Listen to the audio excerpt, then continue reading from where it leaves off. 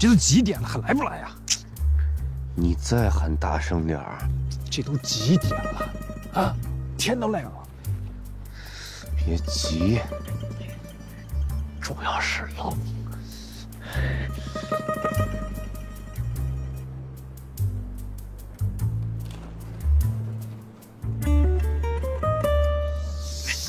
我说你刚去小卖部干啥了？赶紧买买枫叶去了。喝点儿，我一会儿喝多了，闲人来了都架不住。哎，哎，是他吗？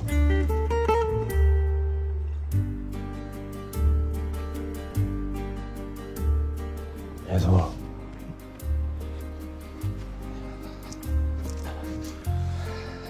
终于来了，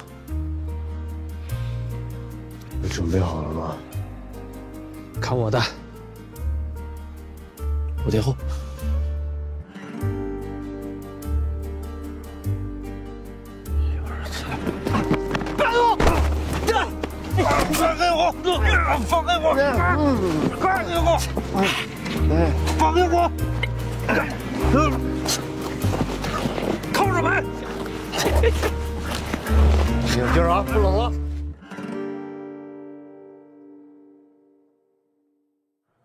夏总，您喝点什么？哦，不用了。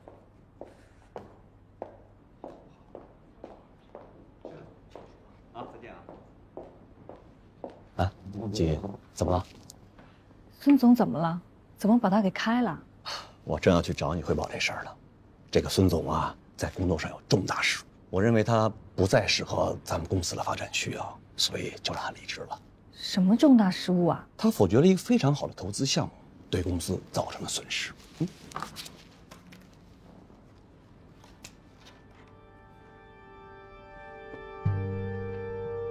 新梦想？对，不是说投资额度太低，不符合公司的投资策略吗？咱们地荣宝啊，融资量特别大，原则上投资项目不能少于一千万，但是凡事都可以变通嘛。他既然是你的朋友，那我就给他投个一千万，不就解决了吗？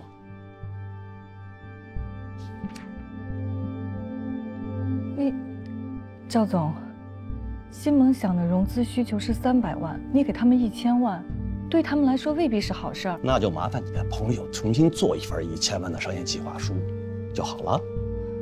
赵总，我觉得你这样，未免太儿戏了吧？我没有儿戏啊，金爷，我特别认真，我非常非常看好这个新梦想的发展前景，更何况，它还是你推荐来的项目。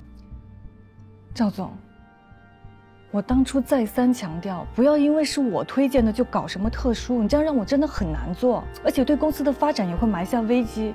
哎，行了行了，金爷，这些我都知道，相信我，我们的投资标准是不会变的。任何人，包括我推荐来的项目，都会严格按照标准来评估。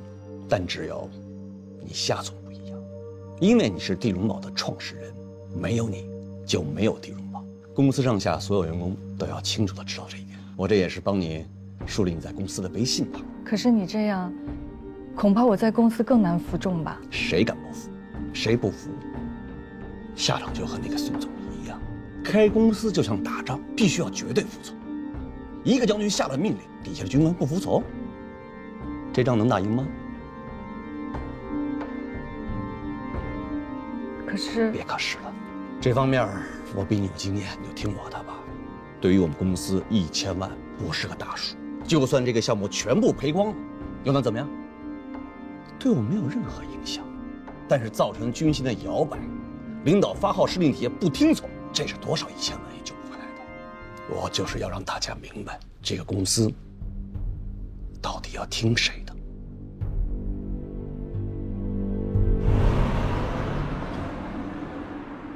嗯，嗯嗯，我知道，我知道，没问题，我肯定参加。好嘞，对头，一会儿我下午请个假啊。又录节目去？好久都没露面，最后一期，怎么着也得善始善终吧？做节目你倒知道善始善终，当警察怎么不善始善终呢？我可听说了，你又给楚东阳递辞职报告了。当初我答应你帮忙破这个贩毒案，现在案子也破了呀。好，就算你觉得死的那个不是那个小青，可现在关键是我们插不上手啊。哎呀，我是真的不能再这么耗下去了。喷子，你警龄有二十几年了吧？二十三年了。就是啊，再熬两年，申请提前退休多好啊，什么都不耽误。你何必这么着急忙慌的呀？哎，我有实际情况。什么实际情况？不就是为了钱吗？潘子，你要知道，有些东西真不是钱能买来的。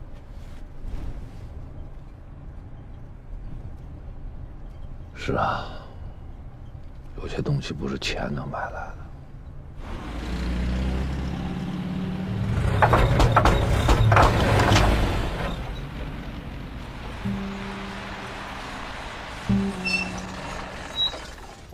哎呦，我去！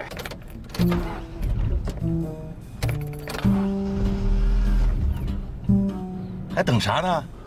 我去！哎呀，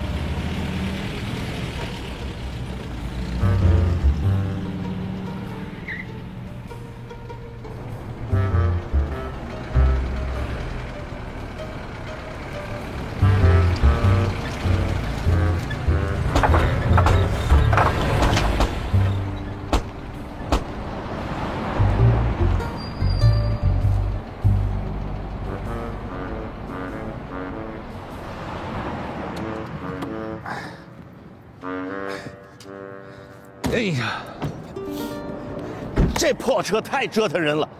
背头，赶紧的，申请换车。都被打入冷宫了，还换车呢？有四个轮子就不错了。不远了，就在前边。走走走走。咱要找的这谢永达什么人啊？聚力实业的法人谢永顺的弟弟。谢永顺非法集资三千万，这么有钱，不把他弟弟接到城里去住啊？兄弟不和呗。兄弟不和，那咱找到这谢永达也没用啊，不会有有价值的线索。咱应该直接去找谢永顺。这种主角干的活儿都是省厅的探组负责啊，咱们就是侧面突破。那这林南太不地道，说什么让咱们露一手啊，挣面子呀，就给咱派这种活儿。这种事儿也不能怪人小林，省厅下来的比他还高半级呢。哎，对了，小吕呢？咱一个探组的，怎么不跟咱一块儿行动啊？武东阳让他跟着陈阳他们了，说要学习先进的办案经验。嘿，真是外来的和尚会念经了啊！哎呀，嗯，哎呦，嘿，这大冬天的跑到海边来吹海风啊！别废话了，分头打听吧。哎呦，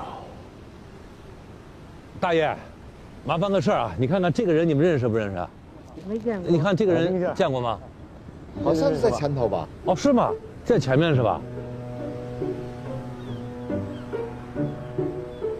哎呀，哎，走吧走吧，家里没人，邻居说好几天都没见着人了，冻死我了。我们也一样，那几个人都说这谢永达一个多星期没露面了。留联系方式了没有？留了，他们说见着人就会通知咱们的。走。哎，哎呀，这一趟非冻感冒不可。哎呀，来点这个，防冻液。哎哎呀，哎，暖和多了。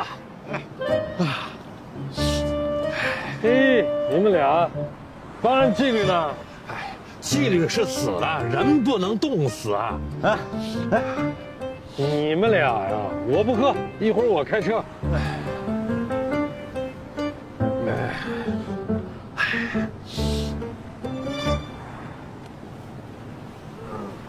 我车呢？刚才是停这儿了吧？是啊。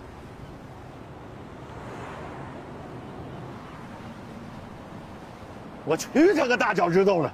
警察的车也敢偷啊！咱点儿也太背了吧！手拿来。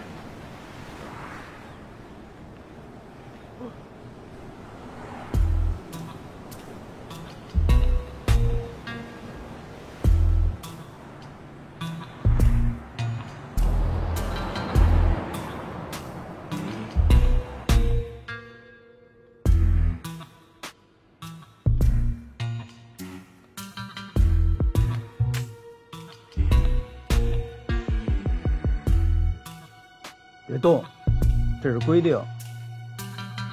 你们车停在那儿多久了？我们大概是十点钟到的，发现车不见，十一点半左右。哎呀，我说，你就把那片监控给我们调出来，让我们看一下，别的你什么都不用管。不用我管，那你们来报警干嘛呀？啊？你们是干什么工作的？街道办事处的。哪个街道？南城区新华街道。干部？不是不是，我看您这形象挺像干部的。就是个普通办事员儿。这两位呢？我是事主，你就登记我的信息就行了。南城区的跑北郊干嘛来了？我们来找同学玩儿，我们几个都是同学，中学同学。对对对。把你们俩身份证拿出来。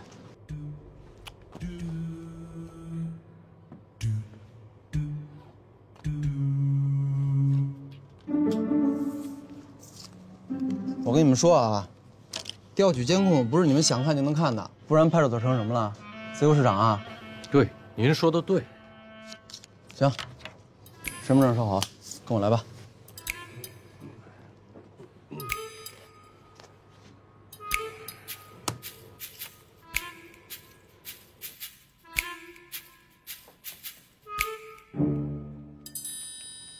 十点到的是吧？对，前后不超过五分钟。上角画面，放大。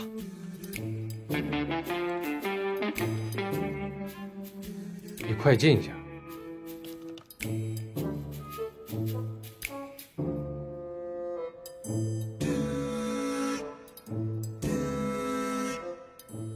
侧门是坏的。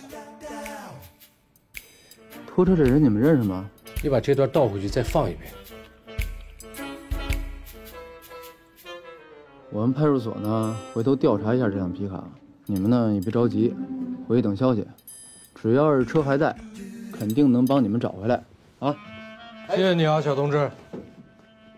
哎，老许，我们正在找一个嫌疑车辆，银色皮卡，那个车牌号是平 AC 零六零三，平 AC 零六零三。你给我查一查，从上午十一点到现在的所有行程。嗯，好嘞，谢谢啊。交通队的许大脑袋，哦，等信儿吧。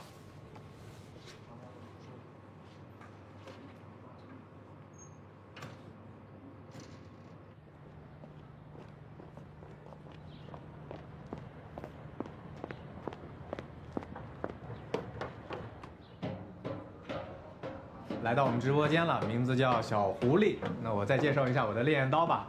这把烈焰刀呢，又称为风魔斩，可以使出风魔斩的大绝技，加上我犀利的眼神，是不是特别给力啊？嗯。好，恭喜六二二九的这位朋友啊，得到了这把强大的烈焰刀。好了，各位亲们，快到中午了，我们下午两点直播继续，拜拜。你怎么来了？我我带你去买身西服。西服？嗯。什么西服啊？周末我们公司要开大型答谢酒会，你没身下的西服怎么行？你们开酒会，我就不去了吧。新梦想是我们公司投资的项目，那你作为新梦想的投资人、创始人，你能不出席吗？什么什么？你们不是不给我投了吗？三百万当然不给你投了。看看，我去，一千万！嗯，静怡，是不是因为你才？不是，你别误会，跟我没有关系啊，是我们公司投资部的决定。可是，给我这么多钱，我也没地儿花呀。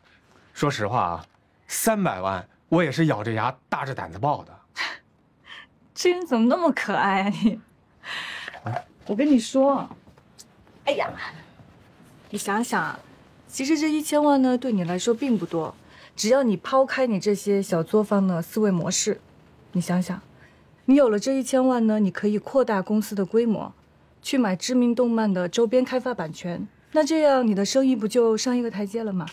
还有，你可以看看这全国有多少跟你差不多的这种动漫周边产品的工作室，你可以入他们的股，甚至把他们买下来。这样你在这个行业里就成为最大的龙头。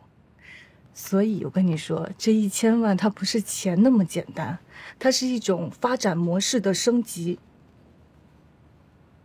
嗯嗯。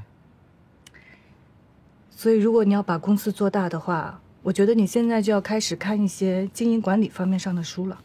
过几天我给你拿几本过来。走了，去买衣服了。啊，走。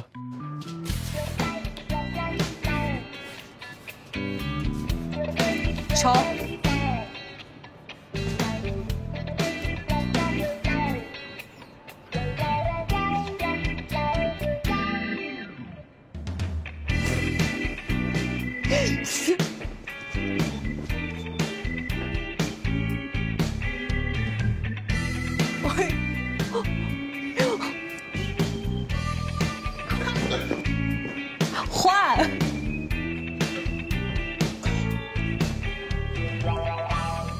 这一身怎么样？嗯，这身帅。我看看。嗯。嗯。不过，虽然刚才那些又土又骚的比较符合你的气质啊，但是我喜欢这个，很帅，就他了。哇，这衣服太贵了。崔总，你现在都身家千万了，这点钱你还不舍得？要不是因为时间紧的话，我觉得应该带你去量身定制一套西服。不是你不知道，我之前没有穿过那么贵的衣服，穿在身上不自在。自不自在重要吗？重要的是帅。你以为那些女生穿高跟鞋舒服呀？就它了，买单。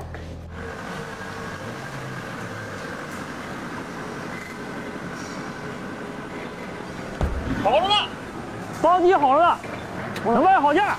晃两脚，我听听声音。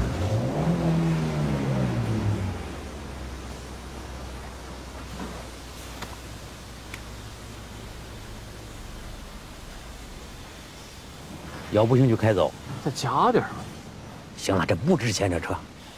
行吧，走了。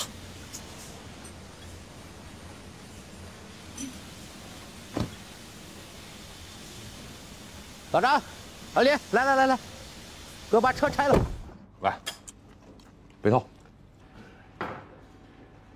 好，谢谢啊。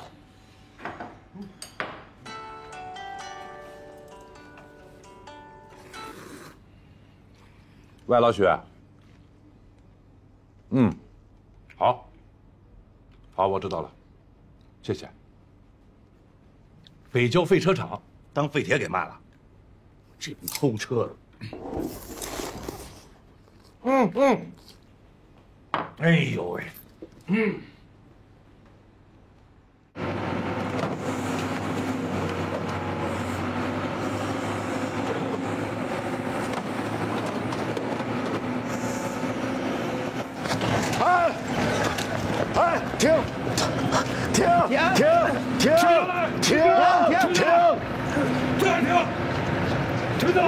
停停停了停了停了！警官同志，我真不知道这是警车。你买车不看手续啊？脏车你也敢收？我脏收脏，判多少年知道吗？我真的不知道这车是他们偷来的。再说了，你说谁偷不偷好车呀？谁会偷这快报废的破车呀？我是真的不知道。再说，我真的不认识他们。少废话，给我装回来。送来的时候什么样子？给我原封不动的恢复成什么样子？少一颗螺丝，我要你好看。好好好好。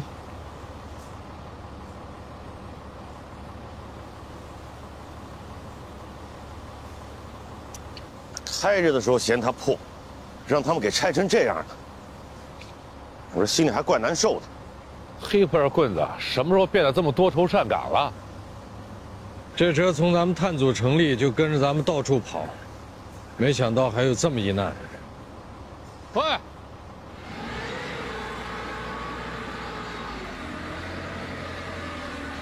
喂，你好，我是市局的，现在有个案子想交给你们办，买赃销赃，对。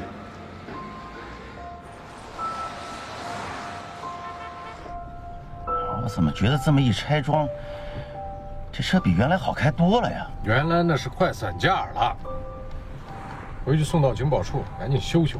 哎呦，三叉戟又多了一个黑历史啊！出来办案，车让人给偷了，这要是传出去，这事儿就咱们仨知道，谁会说出去？对，还好及时找回来了。这事儿啊，咱们就当没发生过啊。都给我烂肚子里！大崔回来啦，走上我们家吃饭去。吴大妈，我们家也有饭。那不是有饭还得做呢吗？张华哪有时间给你做饭呀？我跟张华说了一会儿上我们家吃饭去。他忙什么呢？他忙着给大家谋福利呢。我跟你说吧，地荣宝啊推荐会名额只有三百个，哎呦，我们那些投了资的人呀都想去。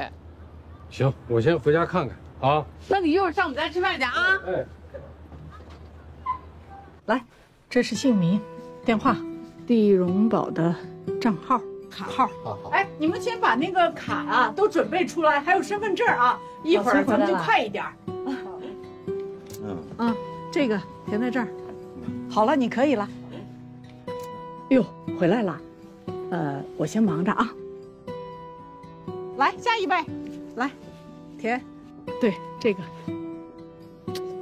哎呀，你别乱翻，给我弄乱了。我今天没时间做饭啊，赶紧去点外卖，快点。哎，好。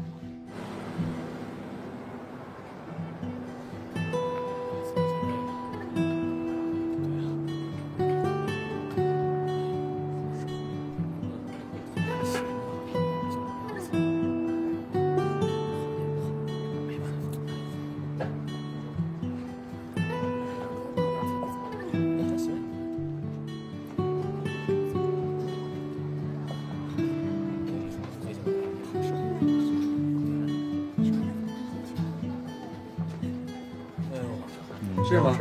小烤肉套餐一份。你呢？那我也来一份这个。这个好吃啊！来尝这个。哎，来啦！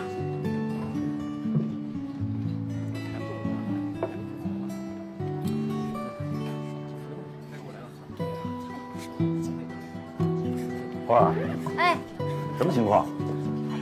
回头再跟你说。哎，别别别别别别别，你别坐这儿，你起来起来起来。哎，那两位，这收拾好了，您请坐。我起来。哎，坐这儿啊。谢谢。你帮我拿厨房去，快点快点快点。哎，菜都点好了哈。啊，点好了。哎，放快点。土豆饭行。我来。按心思要点。不用不用。排骨土豆。哎，里面里面端里面去。马上就来啊。哎，好。小炒肉两份，快点。静怡啊，事业刚开始，你别老给他添麻烦。我没给他添麻烦，我在帮他呢。静怡公司呀，开放日啊，要请出了钱的投资者到他们公司去参观，这也是在考察他们公司的项目啊。这不，刚才那些人都是投了钱的，他们知道我跟静怡的关系，所以都上我这儿来报名来了。这么多人？嗯，咱小区一共四十六个人呢。都投了多少钱啊？吴老师最多啊，投了三十万，别的少的是一两万。现在这种金融理财啊，暴雷的挺多，你得提醒大家理智一点，别老想着那些挺高的利息，资金安全最重要。又来了，别的不放心，静怡的公司你还不放心？静怡可是 CEO 一把手啊，所有的项目他都在把关，而且地融宝产品是可以随存随取的。这不，人家公司搞这个开放日，不就是要让投资者去他们公司考察项目吗？哈，诚信透明，这样投资者的心里就有个数。呵，弄得你跟他们的业余推销员似的。你呀，就是职业病，觉得什么都可以。你别忘了啊，这是咱干闺女啊静怡的事业，咱不支持谁支持啊？这又是为什么呢开源聚财零风险，地荣宝，给你一个未来。嗯嗯，他们这力度，这宣传力度真够大啊！地荣宝，给你一个未来。哪儿哪儿都是他们的广告，这得花多少钱呀？三百五十万，多少？三百五十万，一年包餐，只要是地荣宝的员工，凭那个员工卡在我这刷卡就可以吃饭，一顿饭五十块钱标准。这么多，那你这儿不就成了他们员工食堂了？对对对，就是这个意思。哎呀，要说呀，静怡这姑娘还真的是挺仗义的。你就说他们公司其实离我们这餐厅还隔一个马路呢，根本不是最近的。但是前天呀，静怡就给我打了一个电话，说是要把我们这儿安排成她的员工食堂。我当时都没听明白，我还说好好好，欢迎你随时来吃饭。结果到了下午的时候，就来了一个穿西装、打领带、戴着金丝边眼镜的人，还带了俩助理。然后一来呢，就递了一张名片给我。我一看，地荣宝公司行政总监，说是代表夏总来找我签协议的。这么正式？谁说不是呢？把我都弄懵了。哎呀，后来这协议就签了。第二天，哎，第二天。头期款一百万就打到账上了，一百万。那他们公司有多少人上这儿吃饭？一百七十多人吧。这么多人啊？你这坐不下呀？哎呦，谁说不是呢？今天你也看到了，根本坐不下。我跟你说啊，我有个想法，我准备把这个房子左右的都给盘下来，然后打通。哎呦，其实我早就想装修了，一直都没有逮着机会。还有那后厨，我觉得至少加四个灶，还得再加点人手，要不然根本忙不过来。那你这彻底就是人家食堂了。哎，餐厅还是餐厅，等过了饭点呢，我还可以招呼其他的顾客。哎呀，你说我这干餐厅十几年，从来没想过说要把自己的餐厅做到多大。但是这回没想到，一不小心搭了互联网的顺风车了。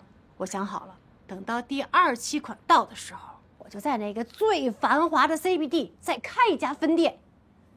说静怡吧，这回倒是打开我的思路了。我决定以后呢，我就接这些大公司、大企业的食堂业务。哎，你知道，就这些白领上班族觉得最麻烦的是什么吗？吃饭。一到饭点，你知道那手机刷刷刷刷刷，好不容易把餐点好了吧，还得等送餐。哪像咱们这儿啊，食谱固定，既营养美味又干净卫生，而且同事们在一起还可以聊聊天，可以八卦八卦。你说我这创意是不是特别好？哎呦，你信不信？我这一努力呀，说不定就创出一品牌来。打住吧，越说越不对劲儿。你干嘛呀？怎么了？你说你当初开这个饭馆，你图什么？图钱吗？不是吧？你图个乐，来吃饭的都是朋友，都是熟人，多高兴！你现在好了，你是挣着钱了，可来的这一甩都是西装白领，坐下就吃，吃完就走，谁都不认识谁，有意思吗？最重要的是，你这少了你这个城南旧事的人情味儿了。棍子，我在这社会上混了十几年了，一直没混明白。直到这两天，我才想明白了，人最重要的是要拥有自己的事业，你明白吗？自己的事业，我不是单纯为了赚钱，我是为了那种成就感。是不是觉得特别耳熟？这是你曾经跟我说的呀。你说你当警察不是为了养家糊口，是为了那种抓住坏人时候的成就感。告诉你。我现在特别能理解你，成就感。哎，老板娘，现在还能吃饭吗？地荣宝的吧？哎呦，怎么加班加到这么晚啊？能吃能吃。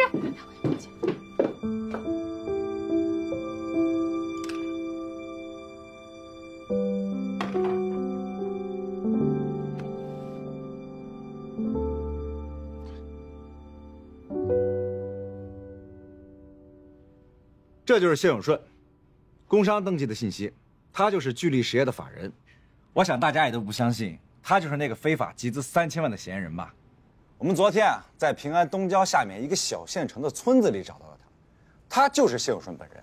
我想大家应该明白这件事情到底是怎么回事了吧？谢永顺告诉我们啊，三年前他的侄子谢春宝借走过他的身份证，而聚力实业的创办日期就在三年前。我想大家是不是跟我一样？有这么一个疑问：聚力实业在创立之初就找了这么一个农村老汉当法人，可见他们一开始就没想做正规经营。这小子说话劲儿劲儿的，让我想起了我的小学老师。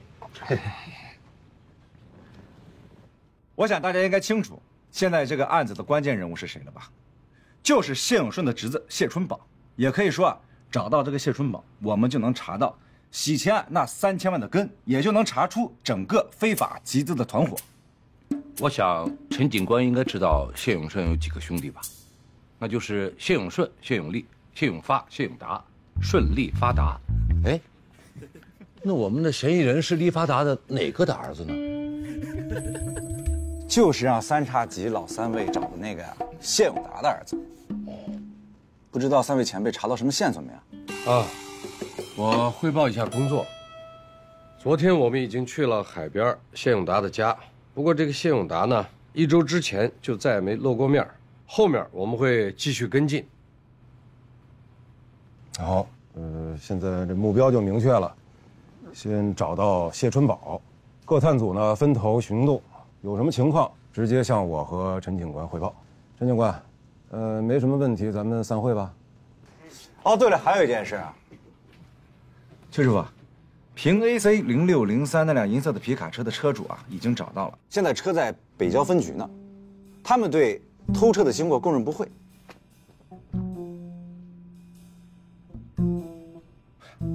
我是觉得啊，虽然车已经找到了，但是这么大的事儿，我们是不是应该先上报啊？各位无关人员可以散会了，这事儿崔师傅他们私下交流就行。什么情况啊？小事一桩，这大家在办案的时候啊。都会有些小状况，崔师傅的马车啊给弄丢了，还有这种事儿？你胡说什么？我们那车是坏了，送去修了。我说崔师傅，你们去派出所报案为什么不亮明身份啊？结果人家找到经侦队，现在弄得我们也很尴尬。你们是干什么工作的？我在街道办事处工作。哪个街道？南城区新华街道，干部？不是不是，我看您这形象挺像干部的，就是个普通办事员儿。这两位呢？普通办事员。我是事主，你就登记我的信息就行了。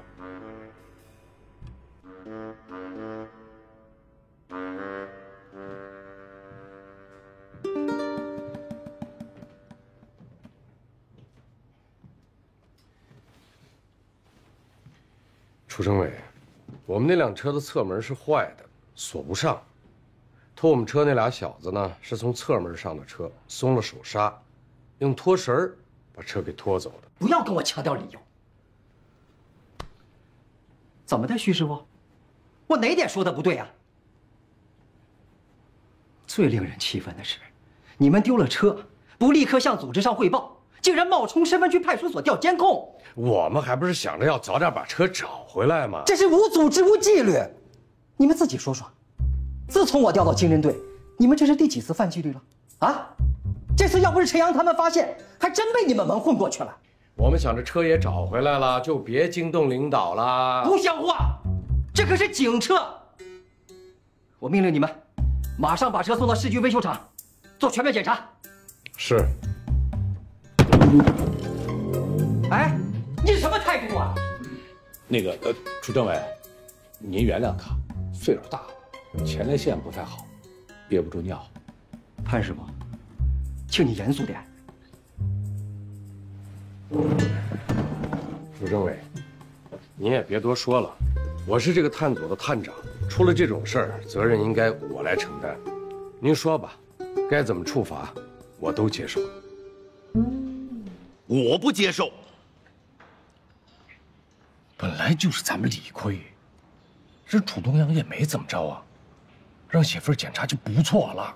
是他还想怎么着啊？咱们都已经被打入冷宫了，少在这煽风点火的。小李这儿。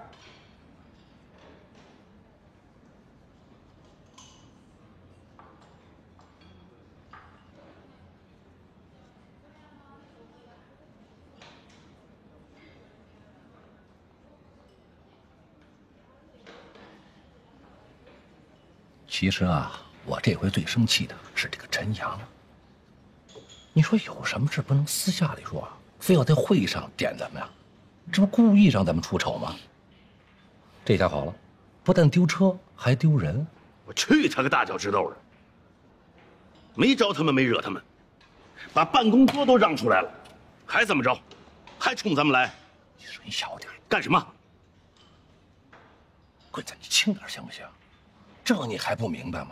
这叫立威，人家省厅下来的，搞这一套那是门清啊！你说咱们经侦队专案组谁有多少分量？人家一眼那就掂量出来了。咱们专案组谁能说得上话呀？林楠、楚东阳背头咱们几个吧？楚东阳那是跟他穿一条裤子。林楠虽说是队长，但级别比他低，那不就剩下咱们仨了吗？那不就得拿咱们仨来开刀吗？再说，咱们三叉戟名声在外。把咱压下去了，那他的威名不就立起来了吗？有道理，还是你看得明白。听他在这瞎掰，搞得跟谁肚子里的蛔虫似的。你这是什么话？有人的地方就有左中右，有嘴的地方就有上中下。我说，咱们这次还真不能轻敌了。一将功成万骨枯，前面流血牺牲的没名没姓，最后插旗子的名垂青史啊。咱就拿咱这次洗钱案来说吧，到现在，谁还记得是咱仨在那别墅里发现了三个亿呀？谁还记得呀？专案组成立到现在，这已经是最后一个案子，我就不信这案子有多难破，非得从省厅调人下来，这不明摆着吗？窃取咱们的胜利果实啊！哎，人生在世啊，就像是一场体操比赛，甭管前面动作多炫，难度系数多大，最后落地那一下，吧唧。摔个大马趴，前功尽弃。我说咱们仨别到了到了，晚节不保啊！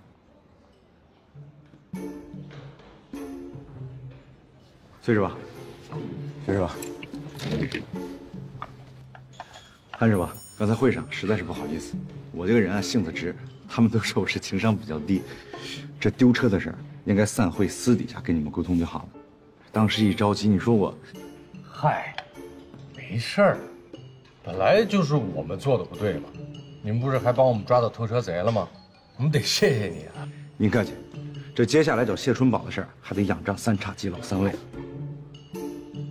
这你就见外了，咱们是一家人，一家人，不说两家话。好，那您三位先吃，我先走。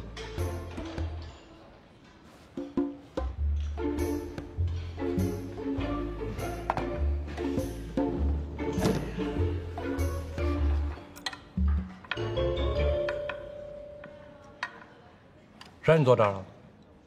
你还不跟着你新师傅一起去呀？什么新师傅呀？我师傅就您三位。no，，你还知道啊？